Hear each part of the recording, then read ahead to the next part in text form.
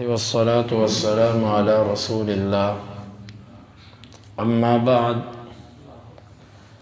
باب من لم يخمس الاسلام یہ باب ہے اس کے بارے میں جو سلب میں سے خمس نہیں نکالتا. ومن قتل قتیلا فلہ صلبہ من غیر ان یخمس اور جس نے کوئی قتل کیا، اس کا سلب اسی کے لیے ہے. بغیر خمس کے۔ وحکم الامام فی، اور اس میں امام کے حکم کے بارے میں یہ باب ہے۔ امام بخاری کہتے ہیں، ہمیں بیان کیا مسدد نے۔ وہ کہتے ہیں، ہمیں بیان کیا یوسف بن الماجشون نے۔ وہ صالح بن ابراہیم بن عبد الرحمن بن عوف سے۔ وہ اپنے والد سے، اور وہ اپنے دادا عبد الرحمن بن عوف سے۔ وہ کہتے ہیں کہ بینما انا واقف فی الصف یوم بدر۔ جنگ بدر کے دن میں صف کے درمیان میں کھڑا تھا۔ فنظرت ان یمینی و شمالی، میں نے اپنے دائیں اور بائیں دیکھا۔ فاذا انا بغلامین من الانصار حدیثۃ اسنانہما۔ اچانک میرے دائیں بائیں دو انصار کے لڑکے تھے۔ اور چھوٹی تھی ان کی عمریں۔ تمنیت ان اکون بین اضلع منہما۔ میں نے دل میں خواہش، میں نے خواہش کی کہ میں طاقتور لوگوں کے درمیان میں ہوتا، جو ان سے طاقتور ہوتے۔ فغمزنی احدہما۔ ان میں سے ایک نے مجھے یوں انگلی کے ساتھ ٹوہا چھوا اور کہنے لگا، یا عمی، اے میرے چچا حل تعریف ابا جہل؟ کہ آپ ابو جہل کو پہچانتے ہیں؟ قل تو نام میں نے کہا جی ہاں۔ ما حاجتو کا الہی ابن اخی؟ میرے بھتیجے، تجھے اس کی طرف کیا ضرورت پڑ گئی؟ قال، اخبرت انه یسب رسول اللہ صلی اللہ علیہ وسلم۔ مجھے یہ بتلایا گیا ہے کہ وہ اللہ کے رسول صلی اللہ علیہ وسلم کو گالیاں دیتا ہے۔ والذی نفسی بیدہ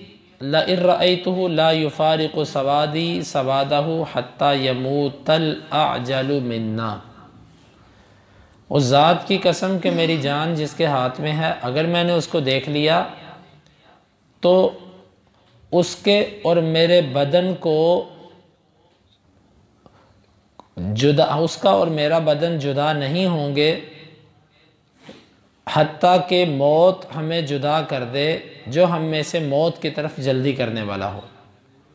فتعجب تو ذالک میں نے اس بات پہ تعجب کیا۔ فغمزنی الآخر، دوسرے نے مجھے ایسے ہی لایا فقال علی مثلہا، اس نے بھی اسی کی مثل بات کی۔ فلم انشب بس میں ابھی نہیں ٹھہرا تھا۔ ان نظر تو الا ابی جہل یجول فی الناس۔ میں نے ابو جہل کی طرف دیکھا، وہ لوگوں میں چکر لگا رہا تھا۔ فقلت الا ان هذا صاحبكما میں نے کہا لو، یہ ہے تمہارا وہ صاحب الذي سألتمانی جس کے بارے میں تم دونوں نے مجھ سے سوال کیا۔ فابتدراہ بسیفیہما وہ دونوں لپکے اس کی طرف اپنی تلواروں کے ساتھ۔ فضرباہ ان دونوں نے اسے مارا حتی قتلاہ یہاں تک کہ اسے قتل کر دیا۔ ثم انصرفا پھر وہ دونوں پھرے الى رسول اللہ اللہ کے رسول صلی اللہ علیہ وسلم کی طرف فاخبراہ انہوں نے آپ کو خبر دی۔ فقال ایکما قتلہ کون ہے تم میں سے جس نے اس کو قتل کیا؟ قال کل واحد منہما، ان دونوں میں سے ہر ایک نے۔ انا قتلتہ کہا، ان دونوں میں سے ہر ایک نے، انا قتلتہ میں نے اس کو قتل کیا۔ فقال هل مسحتما سیفیکما؟ آپ نے فرمایا کہ کیا تم نے اپنی تلواروں کو صاف کر لیا؟ قال لا۔ وہ دونوں کہنے لگے نہیں۔ فنظر فی السیفین، آپ نے دونوں کی تلواروں میں دیکھا۔ فقال کلاکما قتلہ آپ نے فرمایا تم دونوں نے قتل کیا۔ وَصَلَبُهُ لِمُعَادِ بن عمر بن الجمو اور اس کا جو سلب تھا، وہ آپ نے معاد بن عمر بن جمو کو دیا۔ وَكَانَ مُعَادَ بن عفرا و معاد بن عمر بن الجمو اور وہ دونوں ایک ان میں سے معاذ بن افرا تھا اور دوسرا معاذ بن عمر بن جمو تھا۔ اور محمد کہتے ہیں سامیہ یوسف صالحا و سامیہ ابراہیم و اباہو عبد الرحمن بن عوفن یوسف نے صالح کو سنا اور اس نے سنا ابراہیم اور سنا ابراہیم نے اپنے والد یعنی عبد الرحمن بن عوف کو۔ اس حدیث مبارکہ کی تھوڑی سی وضاحت اور باب سے تعلق۔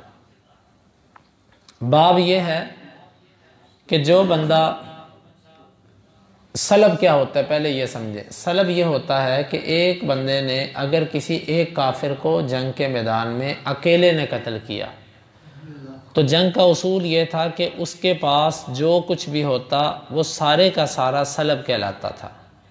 سلب کا معنی ہوتا ہے چھینی ہوئی چیز۔ تو جس نے قتل کیا ہوتا تھا، وہ مقتول کی تلوار، اس کے کپڑے، اس کی جیب میں کوئی چیز ہوتی، اس کا گھوڑا، اونٹ، جو کچھ اس کا ہوتا، وہ سب کا سب وہ لے جاتا۔ اس کو کہتے تھے سلب۔ امام بخاری نے یہ باب قائم کیا کہ جو سلب ہوتا ہے، یہ بھی مال غنیمت ہی ہوتا ہے۔ کیونکہ کافر کو قتل کرنے کے بعد ملتا ہے۔ لیکن اس میں سے خمس نہیں نکالا جاتا۔ یعنی سلب کو عام مال غنیمت میں شامل نہیں کیا جاتا، بلکہ جس نے قتل کیا ہوتا ہے، وہ سارے کا سارا اٹھا کے اس کو دے دیا جاتا ہے۔ اور اس کو پھر مال غنیمت میں بھی شریک کیا جاتا ہے۔ مال غنیمت یہ ہوتا ہے کہ جب مختلف تلواریں چلیں، پتہ ہی نہیں کس نے کس کو مارا۔ اور مجموعی طور پر کافر جب شکست کھا گئے اور مال جو اکٹھا ہوا، یہ مال غنیمت ہوتا ہے۔ لیکن جب پتہ ہو ایک بندے نے ایک کافر کو جا کر مارا ہے، خاص طور پر ٹارگٹ کر کے مارا ہے اس کو، تو اس کا جو کچھ بھی ہوتا تھا وہ اس کو ملتا تھا مال غنیمت کے علاوہ۔ اس کو کہتے تھے سلب۔ تو امام بخاری یہ بتانا چاہتے ہیں کہ سلب کے اندر خمس نہیں ہوتا۔ اس میں پانچواں حصہ امام کو نہیں جائے گا۔ یہ سارے کا سارا ہی وہ لے کر جائے گا جس نے قتل کیا یہاں پر علماء کی دو آرا ہیں۔ کچھ علماء کہتے ہیں کہ جو خمس ہے، یہ سلب ہے، یہ امام کی رائے کے مطابق ہے۔ امام اس میں سے جس کو چاہے دے، اگر چاہے تو نہ دے۔ مطلب ایک بندے نے ایک کو قتل کیا، اس سے بڑا ہی قیمتی سامان نکلا۔ اب امام اس بات کا اختیار رکھتا ہے کہ وہ اس کو سلب نہ دے۔ کیونکہ سلب جب انتہائی زیادہ قیمتی ہو تو اس کو بیت المال کے لیے رکھا جا سکتا ہے۔ اس کے دلائل ملتے ہیں، اس میں سے ایک دلیل یہ بھی پیش کی جاتی ہے کہ یہاں پر یہ دو بچے تھے جو الگ الگ تھے۔ ایک معاذ تھا جو افرا کا بیٹا تھا اور ایک معاذ وہ تھا جو عمر بن جموں کا بیٹا تھا۔ دونوں الگ الگ شخصیات تھیں، تھے بچے۔ دونوں نے قتل کیا۔ آپ نے خود فرمایا قلعہ کما قتل تم دونوں نے اسے قتل کیا، لیکن آپ نے اس کا سلب ایک کو دیا۔ معاذ بن عمر بن جموں کو دیا، معاذ بن افرا کو نہیں دیا۔ وہ کہتے ہیں کہ یہ دلیل ہے کہ امام جس کو چاہے دے، جس کو چاہے نہ دے۔ اگر دونوں کو، سب کو دینا سلب واجب ہوتا تو اللہ کے نبی اس کو آدھا آدھا کر کے دونوں میں بانٹتے۔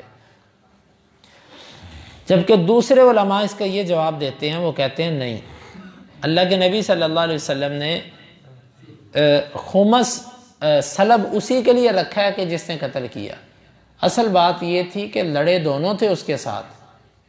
تلواریں بھی دونوں نے چلائیں، زخمی بھی دونوں نے کیا، دونوں کی تلواریں خون آلود ہوئیں۔ لیکن اس کی، اس کو قتل کرنے میں جس کی تلوار کا وار چلا تھا، وہ معاذ بن عمر بن جموں تھا۔ کسر دونوں نے نہیں چھوڑی، دونوں برابر پہ رہے۔ لیکن اللہ کی طرف سے ایک کی تلوار سیدھی نشانے پہ لگ گئی۔ تو آپ نے جب یہ چیز دیکھی، دونوں کی تلوار کو دیکھا، خون کو دیکھا، تو آپ نے اس سے دیکھ کے فیصلہ کر دیا۔ کہ یہ معاذ بن لیکن تسلی کے لیے دونوں بچوں کی دلجوئی کے لیے ان کو کہا کہ قتل تم دونوں نے کیا اور واقعی دونوں نے کیا تھا اور واقعی دونوں کا وار تھا۔ لیکن ایک کا وار عین نشانے پہ لگ گیا اللہ کی طرف سے، دوسرے کا اس طرح نشانے پر نہ لگا۔ تو وہ کہتے ہیں کہ نہیں، امام کو اس میں اختیار نہیں ہے۔ اس میں سلب جانا ہی اس کو ہے کہ جس کو جس نے قتل کیا۔ واللہ عالم بالصواب۔ پہلے والی بات زیادہ بہتر معلوم ہوتی ہے۔ کیونکہ بعض دفعہ سلب اتنا قیمتی ہوتا ہے کہ وہ اس میں خیر اور مسلحت اسی میں ہوتی ہے کہ وہ بیت المال میں جمع ہو۔ وہ کسی ایک فرد کو نہ جائے۔ یہی بہتر ہوتا ہے۔ تو اس میں یہی ہے کہ امام کی رائے کے مطابق ہے۔ یہ تو تھی باب کی وضاحت۔ حدیث کی تھوڑی سی وضاحت۔ یہ جنگ بدر کے دن اللہ کے نبی صلی اللہ علیہ وسلم ابھی صفیں درست کروا رہے تھے۔ تو عبد الرحمن بن عوف جو عظیم صحابی ہیں، یہ کہتے ہیں کہ مجھے خواہش ہوئی کہ میرے دائیں بائیں کوئی طاقتور ہوتا۔ ہے یہ تو بچے ہیں۔ تو بس اتنے میں ایک نے پوچھا کدھر ابو جہل، دوسرے نے بھی پوچھا، میں نے بتا دیا۔ وہ کہتے ہیں کہ بس وہ دونوں لپکے اور جب تک ابو جہل کو انہوں نے قتل نہیں کر دیا، اس وقت تک وہ واپس نہیں پلٹے۔ یہ دلیل ہے اس بات کی کہ اپنے بچوں کے اندر ایمان اور غیرت پیدا کرنی چاہیے۔ ان بچوں نے کہا کیا؟ اس نے کہا اخبر تو انہ یسب رسول اللہ صلی اللہ علیہ وسلم۔ مجھے بتلایا یہ گیا ہے کہ وہ اللہ کے رسول کو گالیاں دیتا ہے۔ گویا کہ یہ چیز اس وقت بھی لوگوں کے لیے ناقابل برداشت تھی۔ اور آج بھی مسلمانوں کے لیے ناقابل برداشت ہے۔ تو اس سے معلوم ہوا کہ اپنے بچوں کی جو تربیت ہمیں کرنی چاہیے، وہ اس نہج پہ کرنی چاہیے کہ ان کے لو لو کے اندر دین کی محبت ہو۔ یہ یقیناً ان بچوں کے اندر یہ جو کچھ تھا، ان کے ماں باپ کی تربیت اور ایک بابرکت ماحول کا اثر تھا۔ اور دوسری بات یہ معلوم ہوتی ہے کہ ہمیشہ چھوٹے بچوں کی حوصلہ افزائی کرنی چاہیے۔ ان کو حقیر سمجھنا یا ڈانٹنا یہ مناسب نہیں ہے۔ یہاں پر عبد الرحمن بن عوف سے انہوں نے پوچھا، انہوں نے بتا دیا۔ حالانکہ کوئی ہمارے جیسا ہوتا تو کہتا، تو نے کیا کرنا ہے؟